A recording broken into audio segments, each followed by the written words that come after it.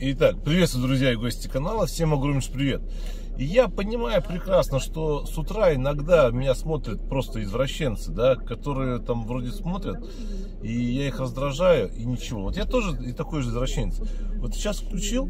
Накопился достаточный запас витаминов и микронутриентов стоит предохраняться после родов столько, сколько необходимо для того, чтобы приближать свои Зачем мне эта информация детей к по радио по поводу того, кто там должен предохраняться после родов и так далее? Ё-моё, думаю, думаю, зачем мне эта информация?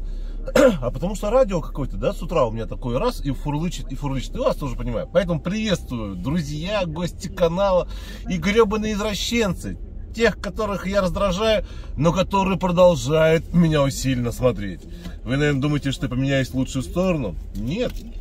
Куда уж меняться больше? Я и так идеальный, понимаете? Я и так красавчик. Ну, реально, Максим красавчик. Просто боженька, как говорится. Ну что, едем с вами дальше названы пособия, на которые могут рассчитывать семьи с детьми. И знаете, я думал, что там пособия одни, я сейчас прочитал эту статью, тоже рекомендую всем посмотреть и прочитать. А там-то оказывается прямо некоторые пособия прямо такие, ого-го, ну, знаете, такие, ого-го-го, ого-го-го, и прям нормально, уже, знаешь, уже думаешь, блин, а почему бы не родить? Думаю, хотя бы, чтобы забрать те самые, те самые пособия. Пособие, пособие, пособие, пособие. Но, во всяком случае, ну, циферки уже меняются в лучшую сторону. Ладно, конец YouTube. Роскомнадзор дал разъяснение. Да, я вот кто-то скажет, Макс, ну что, опух что ли? Ну, ну как так, э, не можешь выговорить, что ли? Роскомнадзор, да, вот представляете себе, говорят, верните нам канал Россия 24 на ютубе верните что-то еще и так далее. И тогда у нас будет с вами перемирие и так далее. Я не знаю, как бы, вот этот, я вообще не понимаю, смысл, смысл, да, вот если есть у нас, например, телевизор, да, и там есть, например, канал Россия-24, ну, смысл еще этот канал в Ютубе, ну, смысл, я просто не могу понять, я не могу, вот, хоть, хоть убей меня. И все прекрасно понимают, смысл, например, тот же самый Россия-24, он, они были на Ютубе, э, им транслировать в Ютубе на этой площадке, да, где вроде как бы свобода слова и тому подобное, если у них всегда были комментарии закрыты, количество лайков и дизлайков закрыто, все закрыто. Ну смысл в, так, в таком канале на Ютубе? Там тоже его смотрели только гребаные конченые извращенцы. Поэтому, ну что, не знаю, я, я думаю, найдут, конечно, компромисс. Знаете, найдут компромисс. Финансист пояснила, что приходит на смену виза и MasterCard. Будем, говорит, расплачиваться в биткоинах, кусочка биткоина. Ладно, бывает. Не хочу прозябать в нищете. Россиянин рассказал, зачем уехал из Сочи и вернулся. В общем, жил-был один россиянин. В маленькой жил деревне в глуши под Челябинском. И в один прекрасный момент он взял, посмотрел на своих соседей, как он говорит, конченых алкашей, конченых тварей, которые паркуются, как у Максима в острове мечты, которые бухают, которые орут и так далее. И он решил сменить это свое ближайшее окружение. Он взял только курточку, такую легкую-легкую курточку и маленький такой, маленький рюкзачок.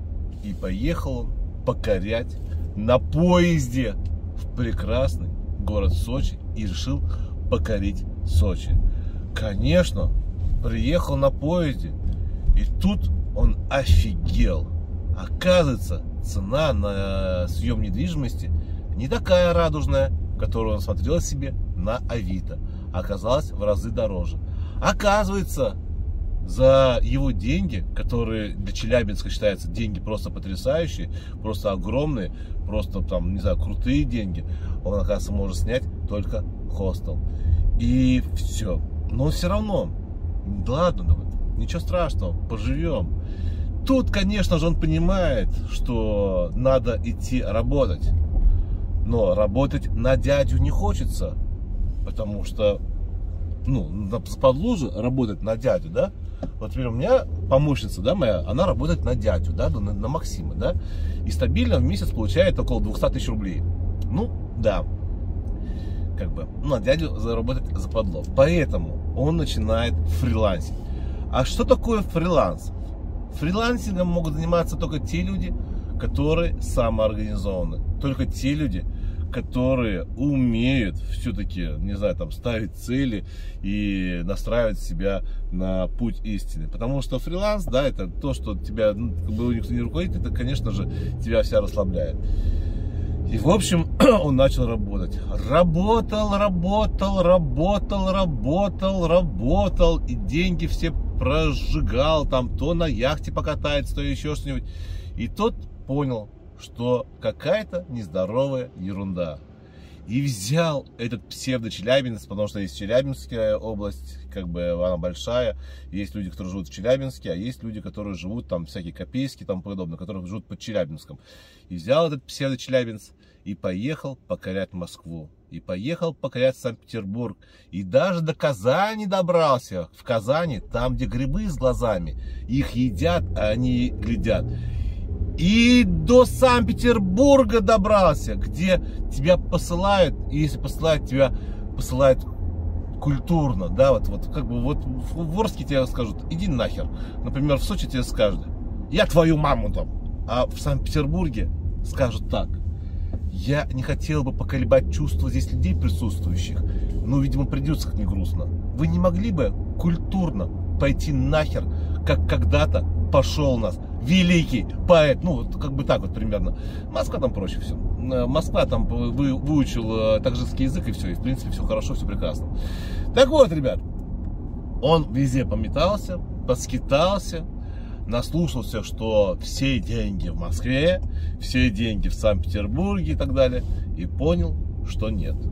Что нет там, сука, денег от слова совсем. И что он сделал? Правильно говоришь, мальчишка. И он возвратился в этот прекрасный город Сочи. Только понял одну простую вещь, что нужно немного экономить и жить по достатку. И живет он в Сочи, этот псевдо-челябинец, и говорит, как же хорошо, что я был в Санкт-Петербурге, в Казани, что я был в Москве и так далее. Я прекрасно понимаю, что город Сочи это лучший город в мире. Да что там в мире, в России лучший город для проживания. И остался этот бедолага в этом прекрасном городе. По-прежнему не работает на дядю, но ходят слухи, что он пошел и устроился к одной из теть. И теперь он не работает на дядю, он работает на тетю. А мы с вами продолжаем. Значит так, блогер рассказал, как распознать проблемные квартиры в Сочи. Он говорит так, ребята, если вы вдруг смотрите объявление и видите, что квартира продается ниже рынка, значит она проблемная. Я хотел купить себе квартиру на мансардном этаже, этаж был шестой. А оказывается, документы даны всего лишь на 5 этажей. И, соответственно, туда. И поэтому я вам советую, не смотрите предложения, которые ниже рынка. Это раз. А второе, я вам советую, это, куда выезжаешь ты через постную линию? Ты дурак, что ли, не поймал? Автобус. И второе, я вам даю творческий совет, творческий совет. Покупать через ипотеку. Если вы покупаете квартиру в ипотеку, то точно с квартирой все хорошо, все идеально и точно у вас проблем не будет. Наверное, сейчас слушают э, дольщики, да, дольщики, точнее, точнее обманутые лошары, э, которые покупали жилой комплекс Рубин. И думают, Рубин 2, он проходил ипотеку и думает, как там, черт побери, что ты такую херню-то несешь? Ну как так? Или, например, слушают те же самые э, дольщики, которые покупали в жилом комплексе раз, два, три, и данный жилой комплекс раз, два, три затянулся на, по сдаче, там, черт знает на какое время. И они тоже такие, блин, ну как так, думают, ну, ну, ну как, ну как так? Ну, ну, ты вот, вот думают, вот, что ты такую херню-то несешь? И тут же еще э, владельцы 40 квартир, которые были снесены в Адлере, ну, то есть 40 домов э, были собственниками квартир, которые были снесены в Адлере, и тоже сейчас слушают и говорят, да ё-моё, думают, какой же ты конченый, как понять ипотека, ипотека, вот наши квартиры были в ипотеке, и их все постасили, что ты за херню такую несешь? А, я скажу один простой маленький совет. Если вы не хотите попасть на деньги, обращайтесь к нормальным риэлтором, который владеет рынком. Не только как бы на уровне такого там ну, житейского, но и которые немножко знают больше, да.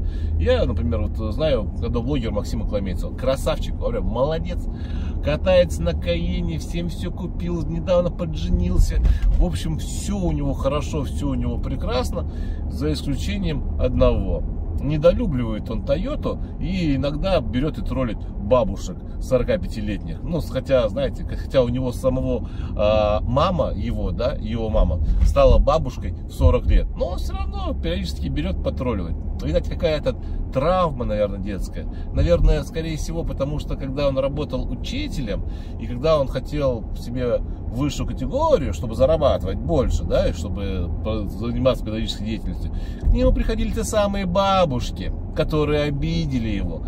Приходили горе-эксперты, которые проигрывали по всем показателям в своих школах, его школе, который занимал первое место. И они пытались оценить качество его урока. И самая продвинутая бабушка сказала так, уважаемый молодой человек, для того, чтобы мне получить высшую категорию, мне потребовалось 25 лет. А вы, молодой, наглый, красивый, сексуальный, хотите все это получить спустя три года? Серьезно? Да только через мой труп.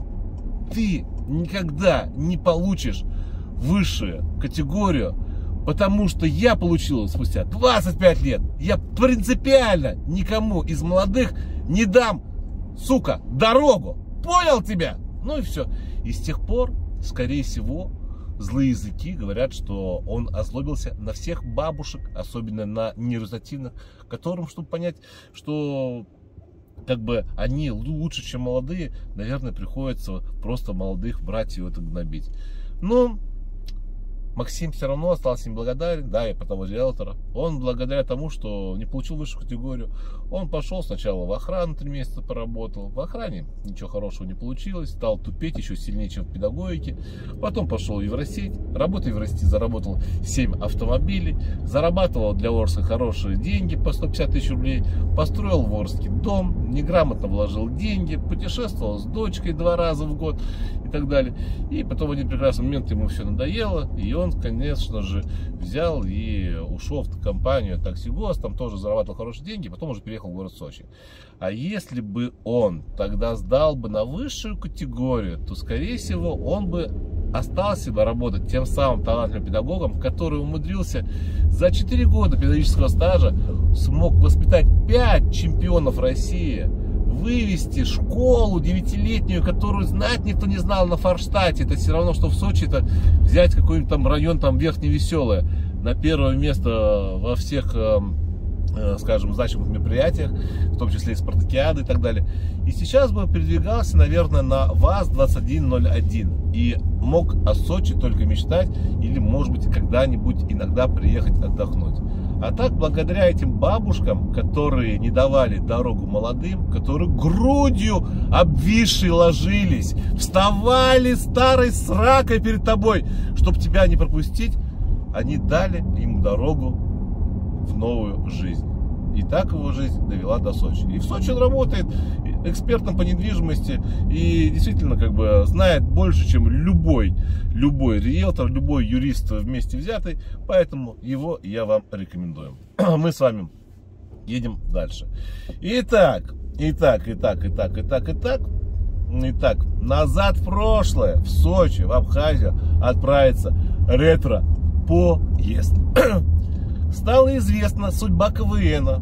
Без Маслякова его не покажут в эфире Первого канала. Из Первого канала убрали такие классные передачи, как «Давай поженимся», «Давай разведемся», «Давай э, вечерний урган», «Давай еще», «Давай еще», «Давай еще», «Давай, давай, давай, давай, давай», «Давай, давай, давай, давай». В общем, все убрали передачи топовые, которые смотрят обычно бабушки 45-50 лет. Все убрали топовые передачи. Все убрали. Даже давай поженимся убрали. Но как так-то, ё-моё, как так? И что? Да ничего.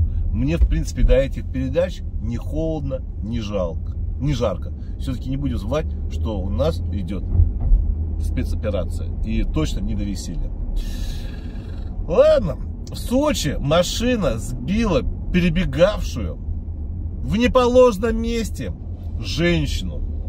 Само собой, женщина была 45 лет. Само собой, она перебегала улицу мира. Само собой, это было все веселым в окружении веселых, так скажем, не буду говорить кого.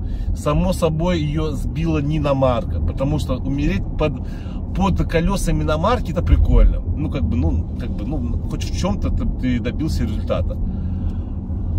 А чтоб тебя сбило ВАЗ-2109 на абхазских номерах, со словами «ты что, сука, здесь бегаешь, так это я твою мать!» Ну, вот так вот. Это, конечно, не очень хорошо. Ну, не, ну, не очень хорошо. Даже не эстетично и не этично. Ничего страшного там нет. Ну, бывает такое. Не без этого. Поэтому, что хочешь сказать? Ребят, будьте аккуратны. Веселым там у них свои правила там тротуары, автомобили передвигаются, там по, еще что-то. Там просто жесть жестянская. Там очень тяжело. Поэтому я не люблю у нас веселое. Потому что очень много там людей из дружной Абхазии и очень много людей, в том числе с Армении, которые не могут себе позволить Сочи или центр Адлера. Соответственно, у них свои автомобили, у них свои правила дорожного движения, у них свои понятия и так далее. И люди там соответствующие там, ну, такие же собрались. Я был в гостях у Лехи, спасибо. Леха, говорит, задолбался, он каждый день рамсит с этими, э, знаете, Леха берет на машине э, мусор, берет, привозит и скидывает, э, скидывает мусор мусорку. Тут подходит к нему один уважаемый мужчина, и говорит, какого хера ты сюда привез мусор, а? Ну, так вот, да, культурно. Леха говорит, ну, это мусорка, и я сюда привез мусор. А, снимаю я дом отсюда через два квартала. И он говорит, «Э, что это тебе дает право привозить мусор сюда, где я живу? Он говорит, я вам не во двор привез, а привез мусор на мусорку а не во двор. А он как бы, а, ну, как, ну, как всегда так, и все. И Леха тогда говорит ему, а не пошел бы ты нахер? Я что тебе? Привез мусор тебе во двор, что ли? Стоит мусорка. Мне мои арендодатели показали, куда выносить мусор. Я принес, и убрал мусор. Какие ко мне проблемы, какие вопросы? Тут выходит молодой человек. Ты что так с моей папой говоришь? Я твою мать ем! Ну, вот так вот. Ну, это ну, модно же, как бы. Леха такой, а ты что, знаешь мою маму откуда? Ну, как бы, ну, вроде как бы Леха один же переехал. Я твою! Ну, и в, в общем, так вот. В итоге, что хочется сказать? Да ничего. Ладно, Леха, он такой, знаете, как бы орский простой парень. Он не обоссался, не обосрался, когда увидел там а, пять человек, которые, каждый, которые хотели поиметь его маму, как бы, или те, которые имели маму его, или так далее, ну, по, судя по их разговору, и так далее. И все. И спокойно их поставил на место, и теперь они к нему нормально все здороваются, подрываются и так далее. Потому что ты иногда, конечно же, хочешь решить конфликтные ситуации, все очень культурно, этично и так далее. Но есть определенные э, категории людей, которые, которые твою вежливость воспринимают за слабость. И поэтому иногда нужно не только, может быть, и поругаться, но иногда нужно, может быть, еще даже подзатыльник дать, а иногда нужно кому-нибудь и втащить, потому что это нормально. Примерно то же самое происходит у нас сейчас и в мире. Иногда не понимает нормально в русском языка, и пока не втащишь, ничего хорошего не будет. Кто успел, тот отдохнет. В России завершается продажа туров со скидкой, поэтому вы, те, кто не имеет квартиры в Сочи, те, которые тупят жестко, те, которые ничего в жизни не добились, а можно высшим достижением любого россиянина считать это собственная квартира в городе Сочи. Вы могли приехать и посмотреть на тех счастливцев, которые живут в городе Сочи. Поэтому, ребят, не упускаем свой шанс. Берем с хорошей скидкой отели от Ашота. Приезжаем сюда на лошадях, и будет вам творческое счастье. А в Лазаревском районе Сочи отремонтируют Дом культуры и памятник воинам-победителям. А жительница Сочи раскрыла место, место нахождения неиз, неизбитой достопримечательности. Да ё здесь везде пошел, два метра дошел он на, на Соболевке, и все. И ты сразу окунулся в другой век. Ну, реально, в другое измерение. Более 252 тысяч человек заразились коронавирусом в Краснодарском крае. А в России может появиться дополнительный выходной день. А все для того, чтобы могли хорошо отдохнуть и начинать хорошо зарабатывать. Вот как бы так. Я против выходных. В Сочи водителя маршрутки отправили в колонию за выстрел в пассажир лицо. В общем, не понравилось ему с пассажиром, что-то как пассажир себя вел. И он что? Водитель автобуса взял и просто стрельнул в лицо. Соответственно, пытался он оправдаться и так далее, так далее, так далее. Все равно сказали, что притяжение умышленно тяжелых принципе, я здесь согласен. Да, как бы с одной стороны, я, конечно, сказал, там, мастер пребывания, что иногда кому-то нужно втащить, если уж он не понимает. Но это не значит то, что как бы нужно стрелять. Да нет, конечно, стрелять это уже перебор. Если он просто взял бы, пощечину дал бы, да и все, этому пассажиру, да, было бы нормально. А вот то, что он стрельнул в голову, это, конечно, не то, не, не то хорошее. А в Сочи Инфинити вылетел в кювет и прокинулся. Это все было весело. Тем самым жить в Сочи в кайф. И, конечно же, Сочи у нас входит в десятку лучших городов для жизни. И это действительно, действительно так. В общем, как бы так. Ну а что? Сегодня у нас воскресенье. Сегодня у нас какое там число? Наверное, третье число. И что-то мне так лень ехать на эти горные лыжи. Решил я сегодня немножко поработать, немножко отдохнуть и так далее. Теперь, что касается, что касается, вчера вот у меня состоялся творческий разговор с одним из моих клиентов, и он мне сказал, вот цитирую его, говорит, ну, говорит, Макс, сука, ты почему забываешь про клиента?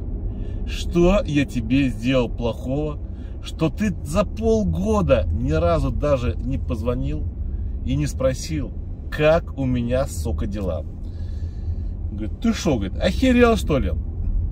И знаете что, действительно, кто если смотрел у меня э, как бы видеоролик, который называется «История одной болезни», да-да-да, вот в истории про, там про эти клубы, про стриптизы, про все, все такое хорошее, да, ну, про все, ну, там такое интересное такое.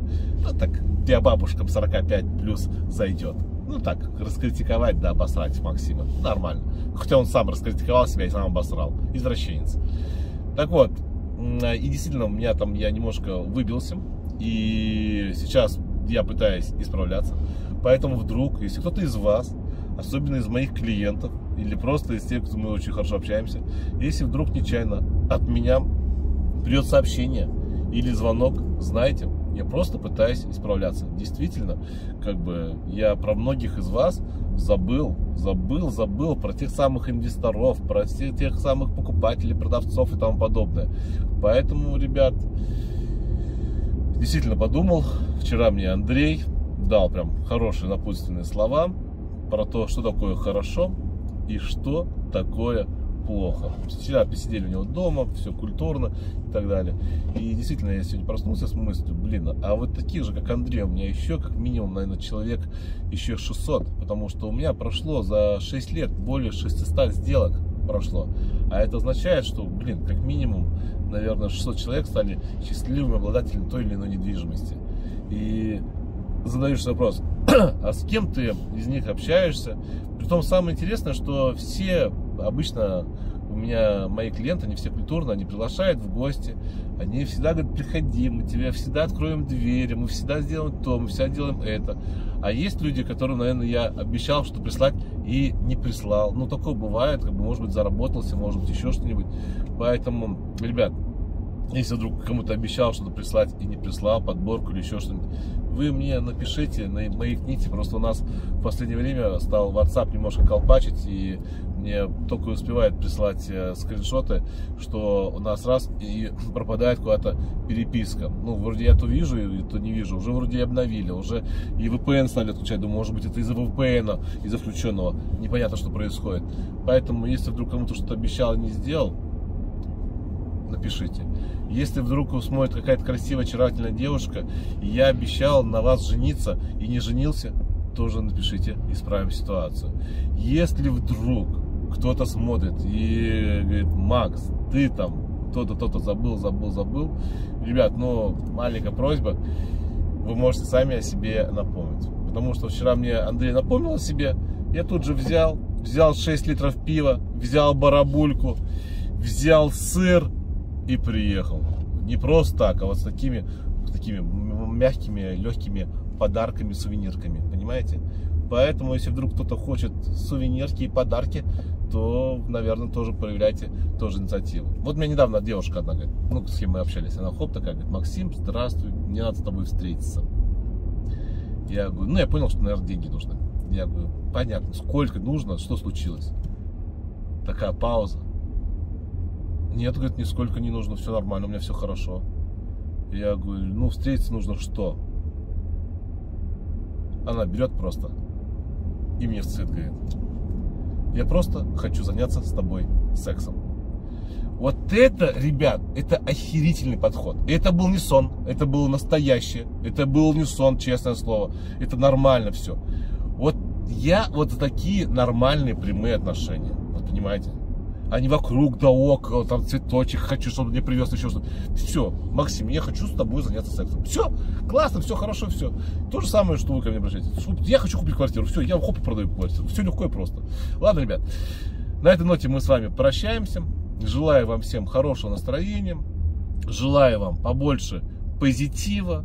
Желаю вам, не знаю, ну что вам еще пожелать? Желаю вам простого человеческого счастья Желаю вам, а, в конце концов, а, иногда уметь различать юмор от прямого оскорбления по поводу владельцев Toyota, которые там все там себя, они так люди закомплексованные, а когда ты еще берешь там стебешь, они тем более там еще больше. Ну, ребят, да нормально я как бы отношусь. Я прекрасно понимаю, что здесь больше зависит э, не от не от, не, от человека, на чем он катается, а о том, как бы, э, ну, как он себя там ведет и тому подобное. Поэтому, что хочешь сказать? Э, просто э, по поводу Toyota, ну, как вы знаете, потому что вы ведетесь, поэтому я вас и троллю. Мне это даром не нужно, понимаете? Вот, как бы, каждый выбирает э, свое, да, как бы. Понятно, что нормально, успешно люди передвигаются на немцах. Понятно, что люди со вкусом передвигаются на англичанах. Понятно, что люди, у которых есть хороший финансовый достаток, передвигаются на итальянцах, да, как бы, ну это понятно. Понятно, что люди, если у него отсутствует самоуважение и у него отсутствует э, ну, все, что такое можно, да, самоуважение, как бы безопасность, он передвигается на Тойоте. Понятно же, это тут дураку понятно. Понятно, что если денег нету, то он передвигается на ВАЗе. Если денег нету, но хочется попонтоваться, то он, он берет себе китайца. Если вдруг э, денег нет, но АвтоВАЗ западло, но китайцы еще хуже, он покупает себе француза, да, какого-нибудь и так далее. Это же хорошо, что у нас есть выбор. Плохо, когда выбора нет. Всем добра и пока.